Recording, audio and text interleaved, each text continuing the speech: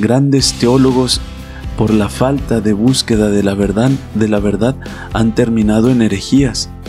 ¿Por qué? Porque, y, muy formados, muy eruditos, mm. y gente muy humilde, eh, ha, llegado a comprender de tal forma las verdades divinas.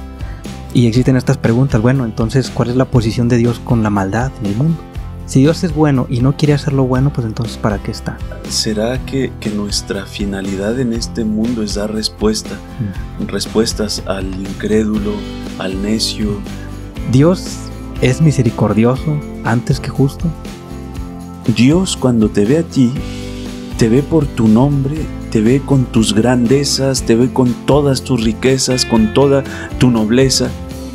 Pero Dios es consciente de nuestra fragilidad humana.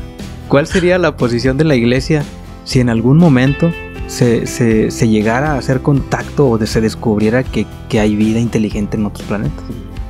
Eh, el, descubrimiento del alma pues no se hace eh, a través de un método científico. El alma no es mesurable. No, no podemos medir, aunque hayan algunos que, que lo quieran medir.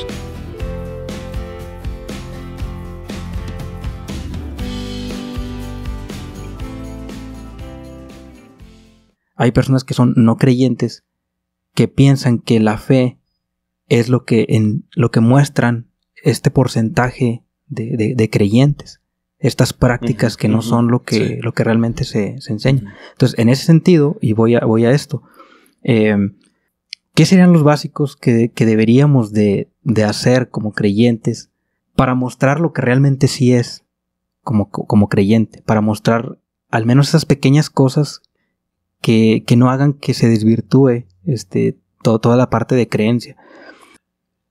Mira, yo en primer lugar, pero este es mi punto de vista, eh, no digo que es mi, que es la, la, respuesta, pero yo personalmente no, no, soy mucho en tierra cristiana de buscar la ejemplaridad de la fe. Es decir, no, no, no somos causas ejemplares. Y cuando buscamos ser un modelo, una causa ejemplar, pues ya dejamos de ver al mero bueno que es Jesús. Mm. Entonces, en el, en el plano de la fe, en, en tierra cristiana, personalmente, por eso digo que es mi punto de vista, eh, personalmente a mí me vale. Mm. Yo me concentro es que eh, eh, el itinerario de la vida cristiana es encontrarse primeramente con el corazón de Cristo, con el corazón de Jesús, y dejándote enamorar por Él, dejándote conquistar por Él, es entonces que ya todo cobra un sentido y encontrándolo a Él, vamos a ayudar a nuestros hermanos. Mm. Vamos a este segundo encuentro, que es el encuentro con los que el Señor nos confía. Y es en este momento donde el hombre tiene que ver al, ser humano, buscar la dignidad del hombre, no porque el otro es cristiano, porque es un ser humano y que es hijo de Dios. Es en este sentido que, hay este dinamismo. Después, que ayuda mucho cuando la, persona ha sido formada, eh, ayuda mucho. Es decir, eh, eh, es como, pues, nuestra inteligencia necesita ejercitarse, necesita buscar la verdad, si no vamos a caer en la confusión, vamos a caer en el error. Y es un, es un ejercicio cotidiano. Grandes teólogos, grandes teólogos por la falta de búsqueda de la verdad, de la verdad, han terminado en herejías. ¿Por qué? Porque, y, y, muy formados, muy eruditos. Y gente muy humilde eh, ha, llegado a comprender de tal forma las verdades divinas que mejor que muchos eruditos que hay. Mm. Pero ¿cuál, e, cuál es la, la, la, clave aquí? A mi punto de vista, si en tierras cristianas estamos, primeramente, tener esta sed por amar a Dios y dejarnos amar por Él.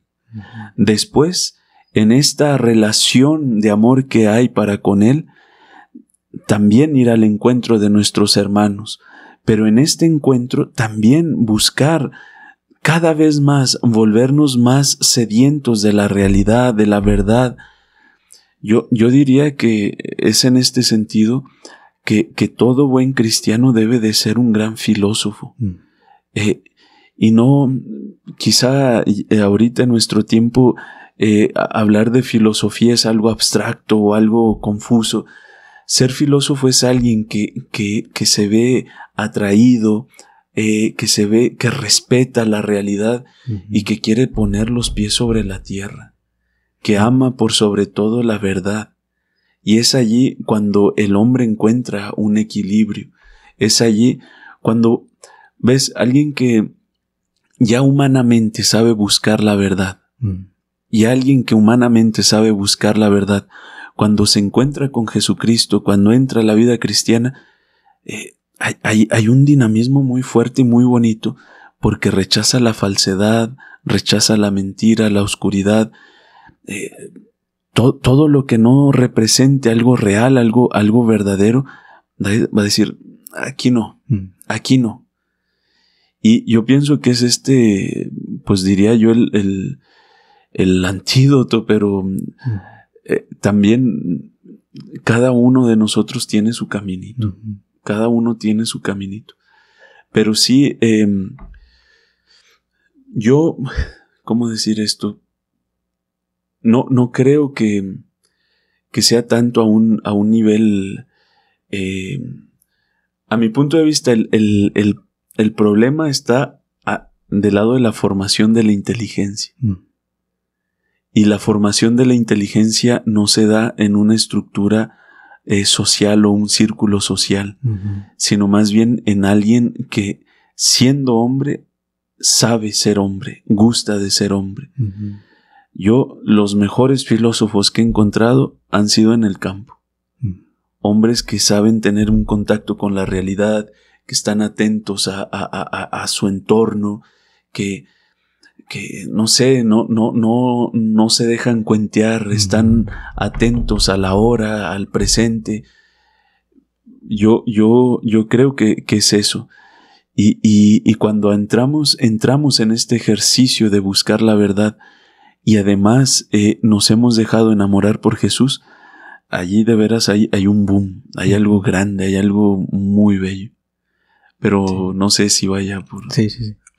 Y, te, pregunto justo porque, eh, no sé si notas, pero este, de repente yo he tenido muchos enfrentamientos eh, con estas preguntas, ¿no? Que se hacen hacia la, hacia la fe. Y, y va precisamente por la formación que no teníamos muchas veces. Entonces, lo que eh, lo que se hace es que estas personas que eh, no que atacan, sino que también se cuestionan, ¿no? Este, pues lo que ven es lo que cuestionan. Entonces la mayoría, este, del, o un alto porcentaje muestra algo distinto. Y existen estas preguntas, bueno, entonces, ¿cuál es la posición de Dios con la maldad en el mundo? ¿Cuál es la posición de, de eh, por qué si vemos que hay tantas personas con, con hambre, este, pues qué, qué, qué es lo que se hace, ¿no? ¿Cuál es? Y, y, muchas veces se justifican con esto. Si Dios es bueno y no quiere hacerlo bueno, pues entonces ¿para qué está? Es una de las cosas que, que dicen. Eh, entonces digo, bueno, pues yo no le puedo decir a Dios qué hacer, ¿verdad? Este, pues no. Este, pero, justamente este tipo de cosas, así como nosotros nos cuestionamos, este, este otro tipo de, de, cosas que se cuestionan hacia la fe, este, pues están presentes muchas veces. Entonces, esa falta de formación, de no saber dar respuestas, eh, y a eso iba yo con qué es lo primero que deberíamos de saber. Pero es que también, bueno, eh, aquí, insisto, yo, yo te muestro mi, postura. Em, es que será, será que, que, nuestra finalidad en este mundo es dar respuesta, mm. respuestas al incrédulo, al necio, mm. al... No será eh, primeramente nuestra fidelidad, perdón, nuestra finalidad el, encontrar la, auténtica felicidad, la felicidad, del amor verdadero, eh, y, en vista de esto, no hace falta dar explicaciones. Cuando, mira, cuando, por ejemplo, yo voy a, decir algo que a mí me toca mucho el corazón y, y, y, yo le doy tantas gracias a Dios por los padres que me ha dado. Yo les admiro, les quiero mucho, eh, les, respeto mucho. Pero si hay algo que, que en mí es, eh, ¿cómo decir? Que, que, yo admiro mucho en ellos, que me atrae mucho de ellos, es el amor que uno y otro se tiene.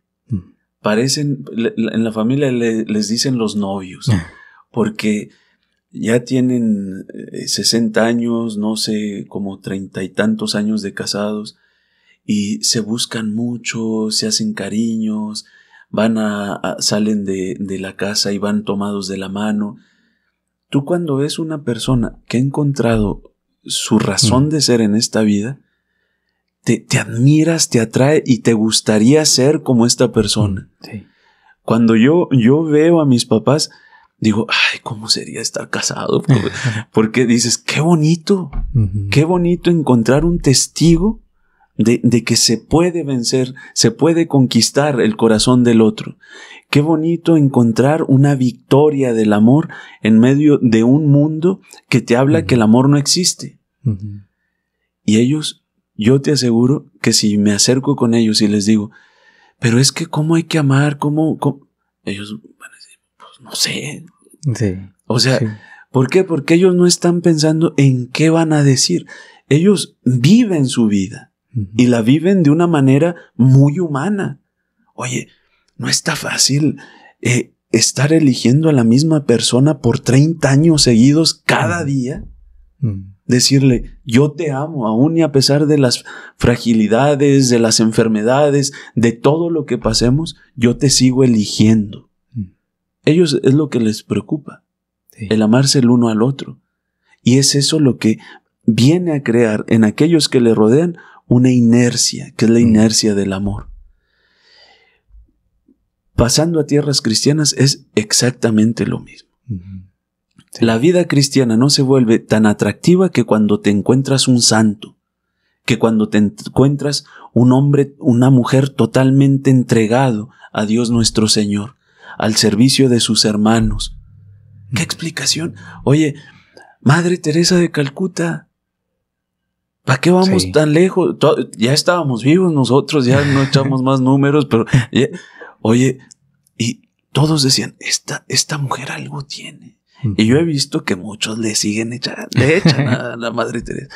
Pero si algo, ve, eso que, que, se dice y demás, tú pregúntale lo mismo a la gente que, que convivió con ella. Mm. Yo, varios de los padres de, de mi convento eh, la conocieron, fueron de voluntarios con ella. Eh, al padre Didier, por ejemplo, le dio la, la, bendición, la madre Teresa le hizo una bendición cuando él estaba en la primaria.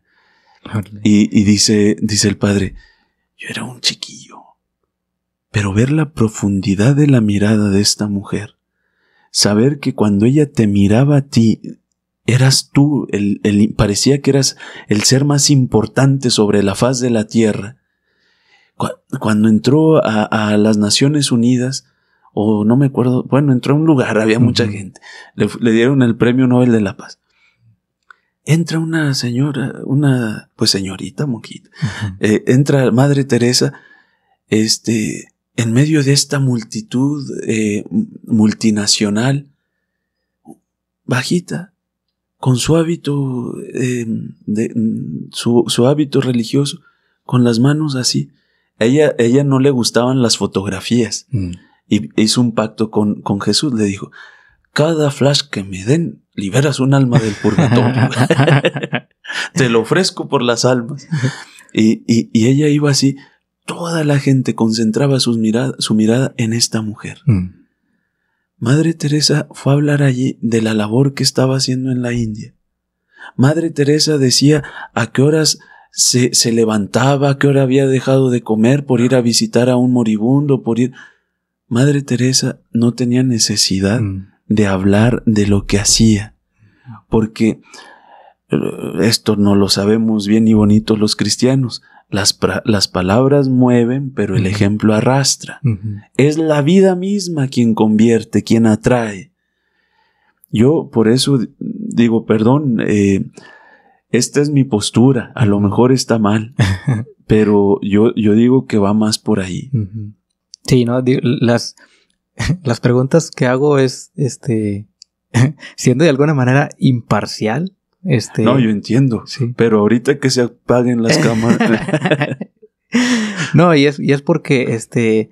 Eh, no, no me vas a dejar mentir. Digo, si entras a redes, e, es demasiado el cuestionamiento hacia, hacia, hacia la fe, hacia las personas que, que, se dedican a la fe.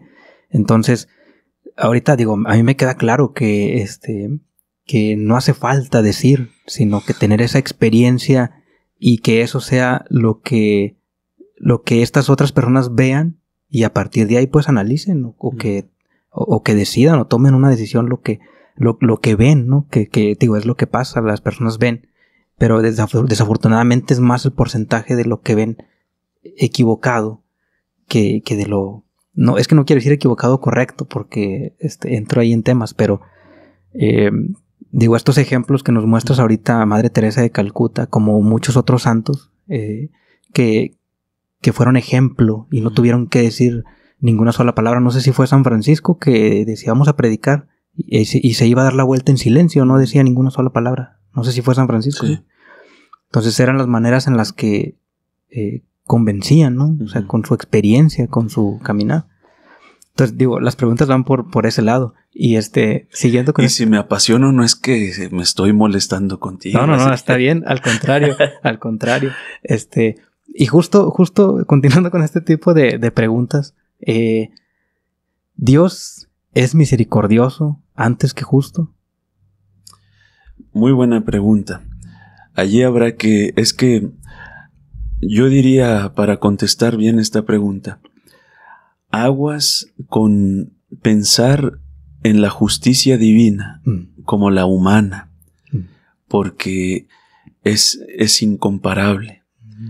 El hombre juzga de acuerdo a, a, su, a su ver que es muy poquitero, mientras que Dios tiene una panorámica totalmente diferente a la nuestra. Y la justicia divina siempre va acompañada del amor. Mm. Y la justicia divina siempre es personal, personal.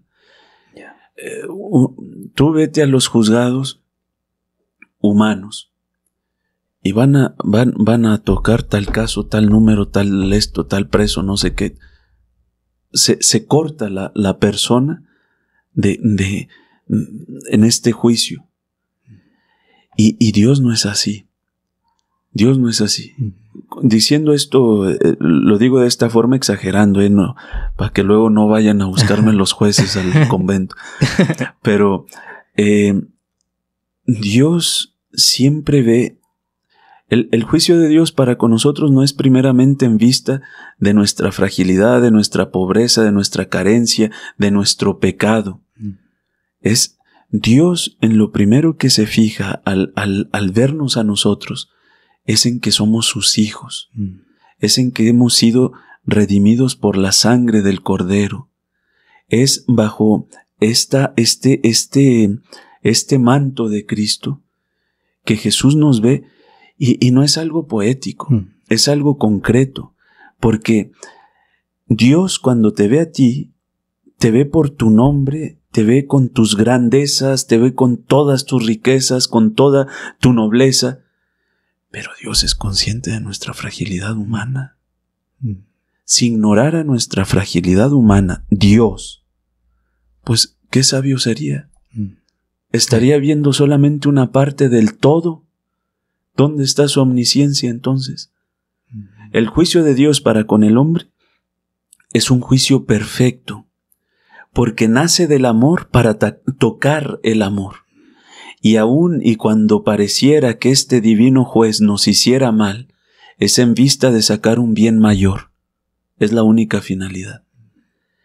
Pero nosotros nos, nos, nos, eh, ¿cómo se dice? nos amachamos, nos amachamos a ver a Dios como un juez humano. Como términos humanos. Sí, y perdón, pero hacemos de, de un Dios un hombre, mm. y no es eso. Ajá. No, no puede ser eso. Yo creo que va por ahí. Sí, sí, sí, digo, definitivamente cuando, cuando lo explicas, eh, sí se traslada a no poderlo definir con términos humanos, porque, y el ejemplo que das del juzgado, Eh, digo, y es otro de los tantos, de los tantos cuestionamientos de, de decir, bueno, este, ¿qué pesa más, la justicia o la misericordia? Eh, pero no podemos encasillar a Dios en, en, un concepto humano, en un concepto este, eh, que podemos entender con términos humanos. aparte también, digo, como decían algunos científicos, pues no le vamos a decir a Dios qué hacer tampoco, ¿no? Mm. Este, dejemos que sea Dios, que Él haga lo que, lo que, lo que tenga que hacer, ¿no? Lo que corresponda. En ese sentido, cuando decimos em, que Dios nos da libertad de, de creer o no creer, de acercarnos o no acercarnos, este, que también son otra de las preguntas. Cuando decimos que Él nos da la libertad, se vuelve algo ya no tan libre, porque Él, él nos la da.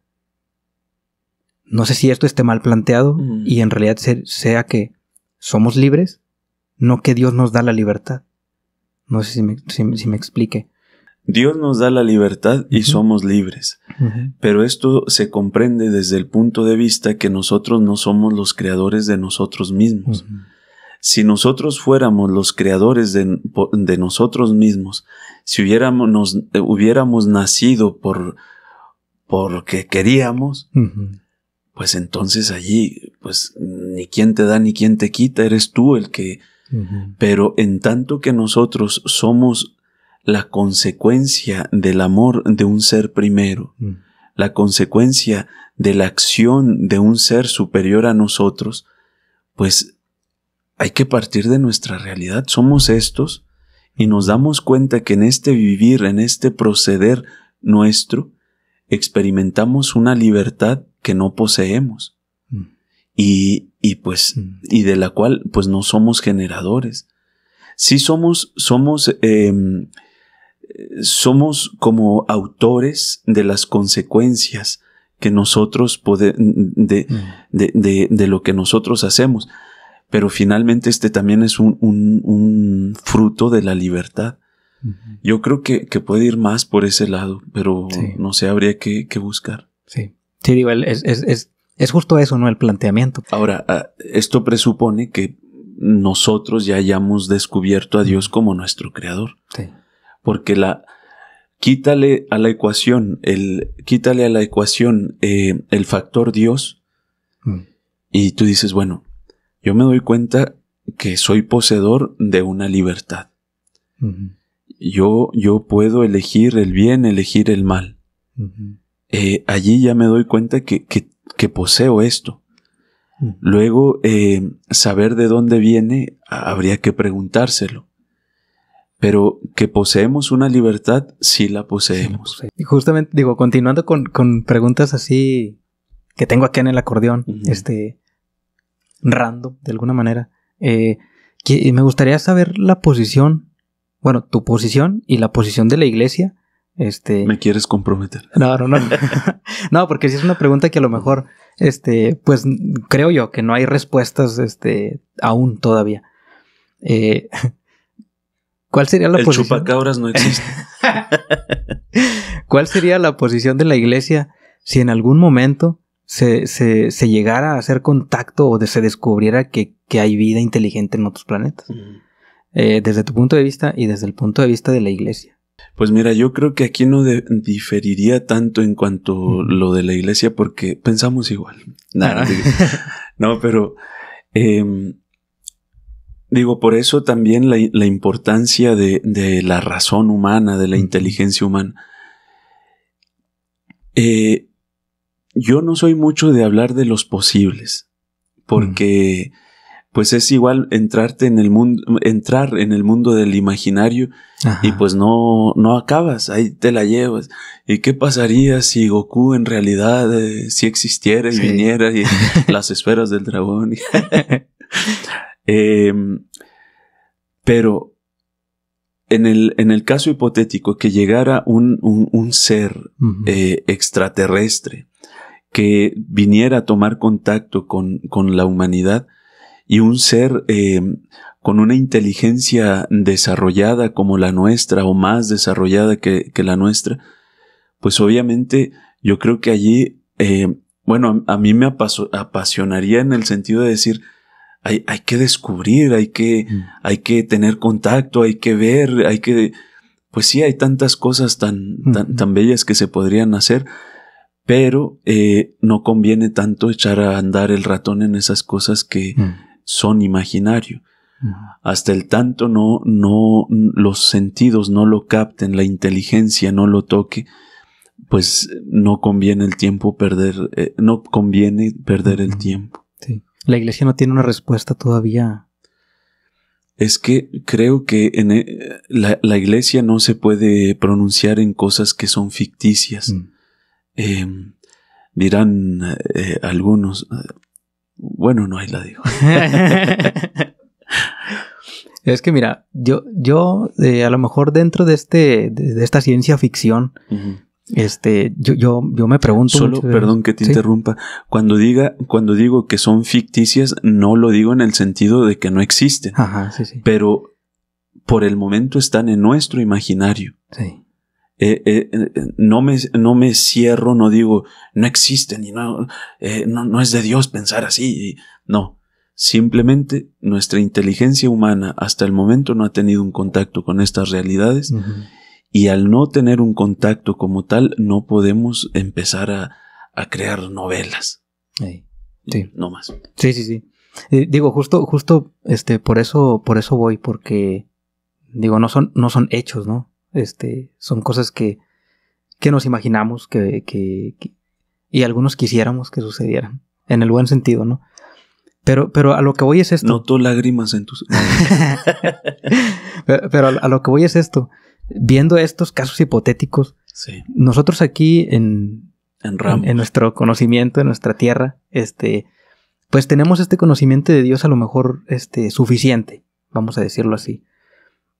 Pero, ¿qué pasaría? Ese es mi, cuestionamiento. Si en algún momento se, contactara con una vida extraterrestre o vida inteligente en otro lugar y tuvieran esta misma creencia, ese, es un poquito eh, mi cuestionamiento. Sería, ¿Sería una prueba irrefutable para los no creyentes? de que hay alguien más detrás de todo. lo, lo, hablo así como esta parte de ciencia ficción, porque este, obviamente para llegar a eso, pues no estamos, yo creo que ni cerca, ¿no?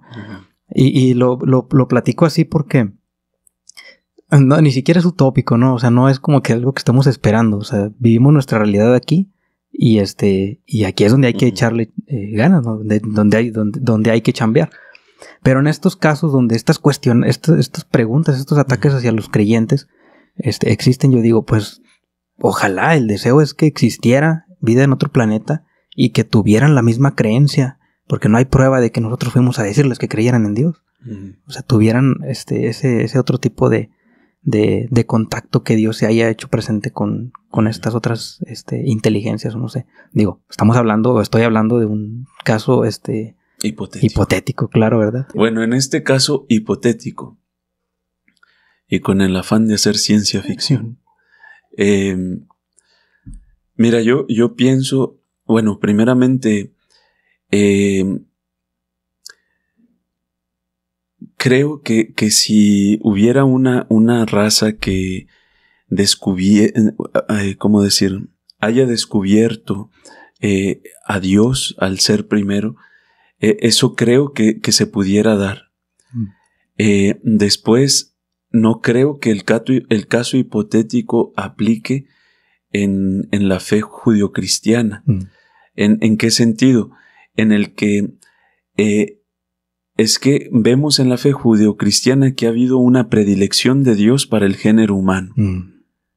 Y, ese es el, el, el porqué de toda nuestra, de toda nuestra fe. Pero eso por un lado, por eso digo, no, si, si hubiera una, creo que sería más, más eh, habría mayor posibilidad de que alguna raza em, eh, con una inteligencia desarrollada pueda descubrir un ser primero, mm.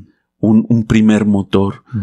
eh, el ser de, el creador de, de todo cuanto existe eso pudiera ser más factible si tiene inteligencia. Pero descubrir a, Jesucristo, descubrir eh, al Dios del pueblo de Israel, se me haría más difícil. Mm. Ya. Salvo que anden volteando de aquí a allá y ya hayan venido varias veces. Pero ahora, también tú preguntabas, ¿esto sería prueba irrefutable para que los demás creyeran? Yo pienso que no. Ok. ¿Por qué? Porque, mira, así como nadie experimenta en cabeza ajena. Ah. Mm. Nadie se hace cristiano sin encontrarse con Jesucristo. Eh, eh, es, yo, yo pienso que sería en ese sentido. Sí. Aún y cuando ya hubiera, bueno, simplemente ahorita, ¿para qué vamos tan lejos? Sí. Tantas culturas que han abrazado la fe y todavía tenemos. sí, sí, entiendo, entiendo el, el, punto, ¿no? Este, yo, yo, lo decía un poco más como, este, eh, con, con, con, las posiciones de decir, a ver, ¿cómo, cómo, me, cómo me muestras que existe algo más? Eh, no tanto en la creencia o en la aceptación de, de, de Jesucristo, sino eh, en, en, el, en, el, origen, vaya, de la creación, del universo. Creo que iba un poquito más hacia allá, si hubiera habido, si existiera en algún, en algún mundo hipotético esa, ese, ese contacto. Creo que podría ser una, una, eh, una respuesta eh, irrefutable de que hay alguien, un arquitecto del universo. Pero eh, insisto que aún y con todo esto, yo creo que siempre habrá Digo, habrá que ver la naturaleza de los otros, porque también pensamos en, en, los otros. Como nosotros. A partir de nuestra naturaleza. ¿Ves? Esta es la dificultad del por qué no podemos empezar a pensar en algo que no conocemos. Sí. Porque eh, estamos haciendo hombres aquellos que decimos no son hombres. Que caemos, caemos un poco en lo que hacen quienes, quienes ponen a Dios en, a nivel humano. Sí, sí, sí, sí. Sí, sí, sí. Eh, ahora, por ejemplo, también digo, aún y cuando, cuando el, cristianismo, bueno, hablo del cristianismo porque es la fe que profeso, pero aún y cuando el cristianismo se ha expandido por todos los rincones de la tierra, en todas las culturas, y, y ha habido otros que nos hablen de, de, de Dios, aún y con todo esto, sigue habiendo eh, personas que no, no, han asumido esta, esta verdad. Y yo creo que pudiera ser lo mismo. Sí, no digo, entiendo, entiendo el, el, punto, que incluso aunque volviera a venir Jesucristo, la gente no va a creer. Porque... hombre, sin ir tan lejos, cuando andaba aquí entre nosotros, ¿cómo se batalló? Sí, exacto. Sí, digo, entiendo, entiendo la, la, la posición. Este, me gustaría también eh, preguntarte desde el punto de vista filosófico y desde el punto de vista eh, de religión, eh, ¿qué es el alma? Hablando como este ente inmaterial. El alma es, como se, entiende en algunas posturas filosóficas, es, es, el principio de vida y movimiento. Todo aquello que, que que posee un, movimiento autónomo y una vida, eh, posee un alma. Eh, ¿Cómo nos damos cuenta de que hay vida y, movimiento autónomo? Pues porque crece, se reproduce, come. Eh, esto, el, alma es lo que viene a, hacer más compleja la, materia. La, la, materia nos damos cuenta que por ejemplo, hay elementos que, que, que no poseen estas cualidades que, de las que hablamos de, del movimiento, de, de, la vida en todo lo que implica, que es el crecer, el, el, el, el gustar, el comer, el digerir, el respirar, toda esta complejidad. Eh, entonces, pareciera que todo aquello que, que se mueve por sí solo, y, que, posee la vida, eh, tiene un alma. Allí eh, los, los, que saben han, han dividido eh, o han, han, clasificado el alma en, en tres, en tres han hecho la distinción de tres almas, vamos a decir, de tres tipos, voy a decir. No soy maestro de filosofía, pero ahí voy a ver de qué me acuerdo. Pero, por ejemplo, tenemos la experiencia de, un alma vegetativa. es decir, la que poseen las plantas, los árboles. En ellos encontramos vida y encontramos movimiento. Mm. Y diremos, pero los árboles ni corren, pero el crecer ya es un movimiento también. Entonces, en este tipo de, de, de, de seres encontramos este, movimiento, este principio eh, eh, que, que, viene, esta gran potencia que viene a hacer que, que todo un ser se vuelva más complejo y, y, y, que tenga también un principio y un fin, eh, que, es, que es la experiencia que tenemos aquí. Entonces encontramos primeramente en las plantas esto, en un alma vegetativa, después también encontramos un alma eh, animal. Los, los, animales nos damos cuenta que poseen también un, una vida, un movimiento, pero con una complejidad mayor, porque si tú le das una patada a, a un árbol, pues no se va a quejar, te va a regañar, se va a enojar, eh, porque no tiene pasiones. Pero un animal, dale una patada a un perro a ver qué te hace. Eh, aviéntale una piedra a un toro a ver si no te sigue. Eh, vemos que, que en, esto, en estos seres, en los animales, pareciera que hay este principio también. Un principio capaz de causar un movimiento autónomo, es decir, que no es que lo mueven, es que se mueve. Y es esto lo que viene a crear en él una autonomía. Y además que esta misma potencia, esta misma fuerza, es capaz de, de, dar la vida. Por eso la, la, vida que hay en estos seres em, es capaz de engendrar, es capaz de, de, de crecer, de respirar, de... Entonces allí parece que hay una complejidad mayor en esta alma eh, animal. Finalmente, eh, otro tipo de alma que, que, parece que hay es el alma espiritual, eh, que es la que posee el ser humano. La, la, particularidad de esta alma espiritual es que hay un, un, desarrollo mayor, una nobleza mayor en este tipo de alma, porque no solamente posee la vida, el movimiento, sino que además posee eh, en sí dos potencias muy grandes y nobles, que es la capacidad de buscar la verdad a través de la inteligencia y la capacidad de amar a través de la voluntad. Esas dos son las facultades del alma espiritual, la, la inteligencia y la voluntad. De allí que, que, hasta donde tenemos experiencia no hemos encontrado un, un, un ser eh, eh, voy a decir, tan eh, filántropo como, como el ser humano, o tan sediento de la verdad como, como éste, capaz de, de crear, de hacer grandes creaciones. El hombre, por ejemplo, hasta donde tenemos experiencia, es el único que tiene sed de, del conocimiento, de la verdad, de allí que, que, no haya cultura en la cual no se encuentren bibliotecas. Eh, son algunos de los aspectos de los que nos habla, de los que nos damos cuenta que, que pareciera que hay un, un, alma diferente a la de los animales, a la de las plantas. Ahora, eh, el, descubrimiento del alma pues no se hace eh, a través de un método científico, porque el alma es, es, es, em, pues ya lo decías tú, ¿cómo decir esto? El alma no es mesurable.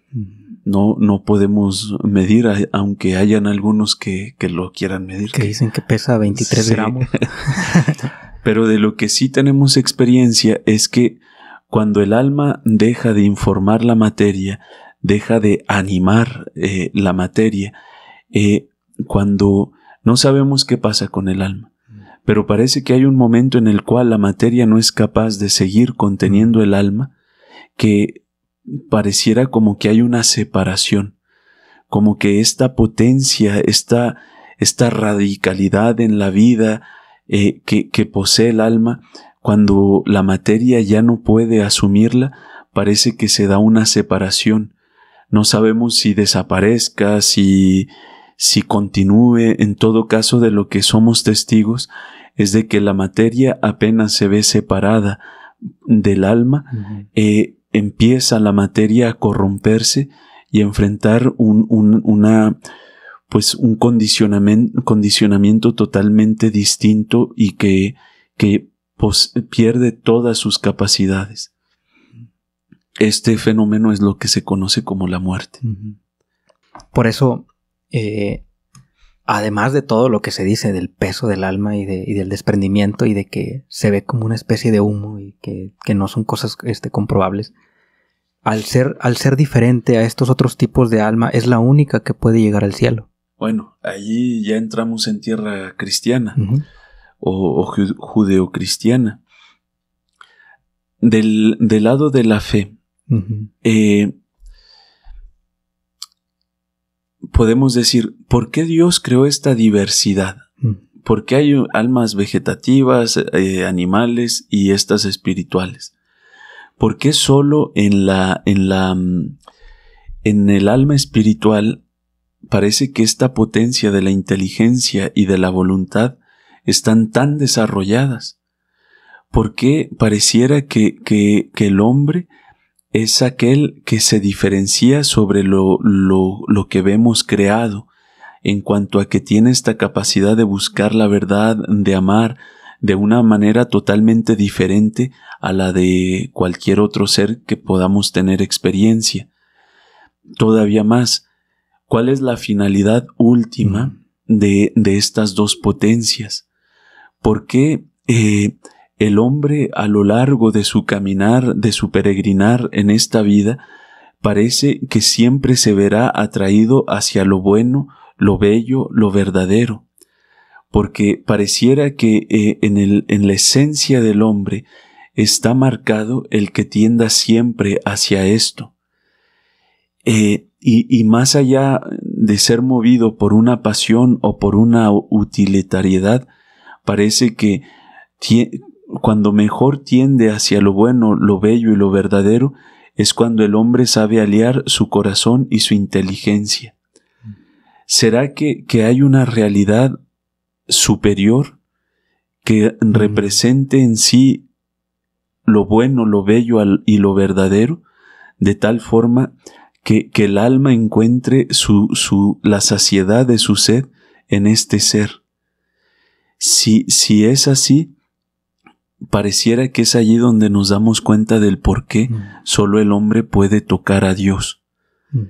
Y cuando, nos, cuando hablamos de tocar, lo, lo decimos a un nivel espiritual. Mm-hmm. el, el, ser inmaterial que, que es Dios eh, no se puede tocar más que a través de estas dos facultades, corazón e inteligencia. Y digo corazón entre comillas porque el corazón es un órgano, voluntad y, e inteligencia durante, digo, lo que hemos estado platicando, eh, y ahorita, que se aterriza, ¿no? Es, eh, todo esto de que estas, estas características o estas capacidades nos acercan a ese, a, buscar a Dios, a tener esa cercanía con Dios. Y lo has mencionado mucho, buscar a Dios eh, o buscar lo trascendente a través de la inteligencia no es meramente una cuestión emocional, no es meramente este cuando tenemos una conexión con Dios de que ah siento bonito y, ya. El sentimiento interviene, sí, creo yo, pero no es meramente eh, una cuestión emocional el hacer contacto o el tener una cercanía con Dios. Y en ese sentido, y es una de las, bueno, me gustaría este, terminar con, con, con esta pregunta. Eh, buscar a Dios a través de la inteligencia, pero ¿cuál es la mejor manera de hacerlo? Me refiero un poco a que, y, te he escuchado este, decirlo, el, el, hacerlo en conjunto, el hacerlo en comunidad, el que no sea individual. Esta plática que tenemos ahorita que, que nos acerca un poco a cuestionarnos, a preguntarnos, a conocer la posición del otro, la pregunta. Eh, de alguna manera estamos poniendo en la mesa eh, nuestra inteligencia, este, a lo mejor mm, en, la justa medida para poder seguir comprendiendo. Entonces, ¿cuál es la mejor manera de, compartir esta inteligencia y buscar esas verdades? Pues siempre creo yo que, que se busca más la verdad cuando uno ama y cuando uno busca acompañado de un amigo. La, la amistad es capital para la búsqueda de la verdad, para la adquisición de la sabiduría, para tocar la sabiduría. A mí me gusta mucho eh, como Sócrates filosofaba. Mm. Cuando, cuando quería filosofar con alguien, cuando quería buscar la verdad, cuando quería tocar la sabiduría, eh, antes de hacer cualquier cosa, le decía al otro, ¿será que tú y yo somos amigos? Mm. Si el otro contestaba que sí, él decía, entonces podemos buscar. Mm. Porque cuando hay una búsqueda de la verdad con el amigo, eh, se va más lejos. Eh, y, mira, insisto, conviene que, todo esto que hablemos lo aterricemos en nuestra experiencia. Cuando, cuando estás enojado porque viste al amigo, a la novia, a la no sé qué, con fulano, con sutano, y ya estás lleno de celos y estás que no quieres ni verlo, y allí estás abrazado por la pasión y te cierras a la búsqueda de la verdad. Pero cuando tú te vences a ti mismo y dices, a ver, basta, no puedo estar todo el tiempo celando al otro, acaparándolo, eh, aprisionándolo, cortándole su libertad. Además, ¿quién es la otra persona? Mm. A lo mejor era no sé quién. Y ya vas, te sientas y dices, mira, pues te quiero compartir una lucha que tengo. Eh, cada que te veo con esta persona, lucho mucho porque yo pienso que eh, faltas eh, al amor que yo te tengo y, y volteas al otro y te dice, pero si es mi prima, es mi primo. Eh, pero ya cuando hay la disposición de la búsqueda de la verdad, se puede tocar la realidad.